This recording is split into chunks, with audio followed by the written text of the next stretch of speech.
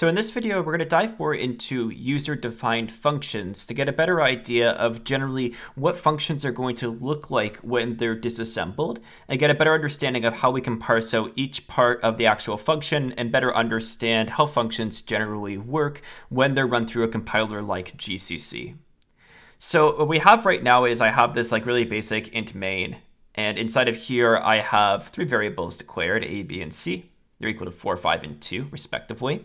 And then I run this function add to using these three variables. And you'll see here that add to simply takes each of these variables, it adds them all together, stores the result in sum, and then returns sum as a result. And then we just set that into a variable d, and we return that as the exit status code. So this is a very simple and straightforward application, so nothing too complicated here. And I've gone ahead and compiled this already. Very straightforward. We just do a simple compile. And then I also loaded it into Ghidra. Again, you create a project and then you just take the binary and click and drag it in. And you can run that default analysis and you'll be good to go. So inside of this, we're going to start inside of the main and we're going to talk a little bit about how the stack is generally working and how these variables are generally being loaded and just get some intuition behind these types of ideas. So first things first, what does the stack look like when this function first starts up? Let's draw it out. We have this stack here. And I'm just going to remind you that in assembly, we grow our stack from high addresses to low addresses. So generally, when you see these different instructions, the push of RBP at the very beginning is going to put RBP onto the stack. And then this instruction right here is actually just going to move RBP to R RSP into RBP, right? So everything is going to be pointing up to this same location here. RSP and RBP are both right here. This subtraction of 10 from RSP creates space on the stack. So it moves RSP up in the stack. So it would remove it, move it up, you know, somewhere maybe here, for instance. So I just want you to understand that that's what that's generally doing because we're moving from high to low. This is moving up in the stack to create space in the stack for us to be able to work. And then what we're doing is replacing values onto the stack. And I know that because we have this D word pointer and then these square brackets that indicate the location on the stack itself. So this is moving data onto the stack. Now, how do we generally decode exactly what's going on here? Well, what happens is Ghidra actually helps to create a little bit of a simpler picture of the actual stack memory itself. This RBP plus local 10 is saying take RBP and then we add a value to it. And this value actually represents the position in the stack and it moves from smaller to larger. So generally the way that you can look at this is you can say, okay, three things are being moved onto the stack. And when we're looking at from the Ghidra perspective, the lowest numbered one is the lowest value in the stack. So this one is local 10, which we'll just label as 10. This is 14, this is 18. So when these are moved onto the stack, what we have is the following. We have 2, we have 5, and we have 4. This is what we get as a resulting stack. So you can see that this is 2, this is 5, and this is 4. So generally, this is what our stack looks like at this moment. Now we're going to do some really interesting things with the actual stack and the variables, and it's related to the way that the compiler actually optimizes its use of registers. So we're going to see some really interesting things happen with these different values. So this next set of instructions, these five instructions here, are actually setting us up for this call to the add to function. So this is the actual function call. The everything before that is actually the setup. So we're moving these values into different registers. So we're going to move EDX in, we're going to give it a value, which is local 10, which is 2 in this case. So EDX has the value 2. ECX is going to get the value of local 14, which is 5. And then EAX is going to get the value of local 18, which in this case is 4. And then we do a little bit of shifting around. So we actually move some values into ESI and EDI. So we move ECX into ESI. So now ESI stores the value 5. And then we do the same with EAX. EAX gets moved into EDI. And this sort of shuffling around may seem a little odd, right? Why didn't it just move these values here directly into the registers? There's a reason for this. Basically, as GCC is going through and compiling our application, it doesn't necessarily know that these values are all going to be used inside of a function called parameter, for instance. So what it does is it first places them onto the stack, and then it only places them into registers when they're absolutely needed in those registers. Because there's a finite number of registers available to us, we don't want to be using registers when we don't need to. So that's why this happens in two steps like this. The movements into ESI and EDI are generally because ESI and EDI are reserved registers that are typically used for function calls. So what we do is we populate those registers first, and then we set aside other registers to be used for additional parameters. And if there was a case where we had too many parameters, we would just put them onto the stack and then reference them from the stack themselves. That's generally the way that this is going to look. So at this point, this is the structure of our memory, right? So we have our stack memory and then we have our actual register set as well. And at this point, we call add2. So let's go over to add2, and let's go ahead and take a look. So now inside of add to, what we have is we have some interesting things generally happening.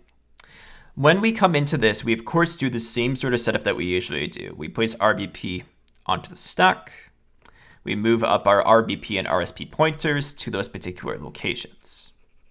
And then what we do is we take each of these values that we had in registers and we place them onto the stack. This is typically what we do with things like local variables in functions. The reason that we do this is because we want to preserve what we were given when we first started this function. The idea being that we probably are going to want to use some of these registers in the function, so we preserve those values in case we need to use those registers for something else and we want to overwrite them. That's the reason why we're placing these onto the stack. So again, same sort of principle as before. We're working from smallest to largest as we're placing these values onto the stack. So we have 1C, we have 20, and we have 24. And we're just placing these values onto the stack from smallest to largest, right? So it's going to be generally seen in the same sort of order as what we had before. So that's the main thing that we're keeping in mind when we place these values onto the stack. So we're going to have 1C, we're going to have 20, we're going to have 24, and generally 1C gets EDI, which is going to be 4, and then 20 is going to get the value of ESI, which is 5, and then 24 is going to get the value EDX, which is 2. So that's the way that those values are currently stored. So at this point, you can basically ignore everything below this. It's really just this part that we're focused on right now. Now check out what happens as we go through this.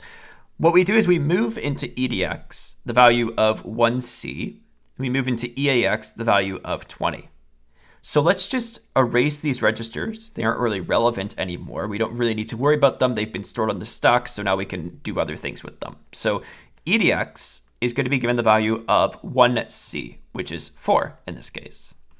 And then EAX is going to be given the value of 20, which is 5 in this case. And then we're going to go ahead and do an add instruction. So remember that add stores the result in the left register. So EDX is going to be equal to EDX plus EAX. That's what that instruction is doing. So at this point, EDX is now going to have, well here, I'll just uh, overwrite it. Here, EDX is now going to have a value of 9, right? Now watch what happens next. It moves into EAX the next value that we need to add onto the total, which is 24. So this EAX is no longer needed. So we just erase it and we change out its value to 2, as this instruction is doing. We then do another add. We add into EAX the value of EDX. So now at this point, EAX is going to be equal to EDX plus EAX. So that will give us 11 as a result. So now this has the value 11. So at this point, we now have our result. This is the final answer that's required by our function. Now, something I want to address right now is, so the add instruction can only take in two arguments, right? The destination and the source. So one question you may have is, why doesn't it just load all three parameters into registers, and then it can add to the two and then add to the last one on? The reason why it doesn't do this is because it's trying to use as few registers as possible. That is one of the goals of the compiler is to use as few registers as it can. So what it does is it does the first add operation and then it simply overwrites the register that it doesn't need with the next value to add. That allows it to use only two registers rather than using three, which would be optimal compared to having to use all three registers. This is something that you see if you start to learn more about like building compilers and how compilers work. They want to minimize the number of registers. So that's why you see this done like this in two steps instead of loading everything into registers and then doing two adds in a row. That's generally why that's done. So then the next little piece of code is basically going to take that value EAX it's going to place it onto the stack so that it can be used later. So it takes this 11 and it stores it somewhere on the stack. So we could just like say like, you know, it places it onto the stack here. And then generally what it's going to do is it's just going to move the value back onto EAX just to make sure that it's stored in EAX when it's returned back to the original function. And then this pop is going to get us back our return address, and then we're going to return back to our main function. So let's just finally go back to main and see how this program ends off, just to understand that general idea. So we're going to go back over to main. So right here. And you'll see here in main, the very last thing that it does is it takes this local C, which is 11. Sorry, it's a little bit hard to see, but that's the 11 that was stored there. And it is taking the EAX value and it's placing it in there and then it's retrieving EAX as a result. So at this point, EAX has the value 11, and remember EAX is the exit status, so that is being set to 11, which in turn gives us that return of 11.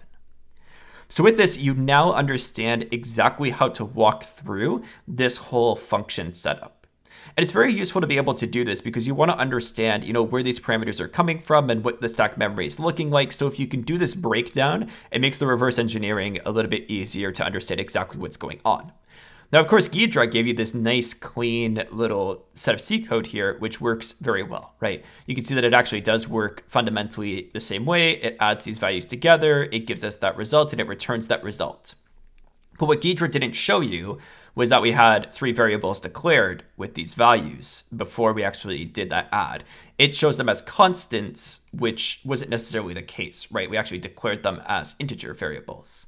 So by looking at the assembly code, we can more clearly see that these are being stored in memory somewhere, which gives us a bit more of a full picture towards the way that memory is actually looking, which is very important if you're starting to do things like, you know, trying to find exploits or you're trying to really decompile and build out that understanding a bit better.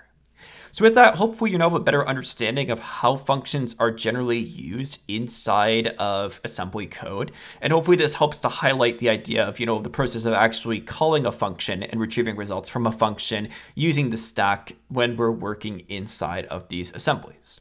So thank you so much for watching, and I'll see you in the next video.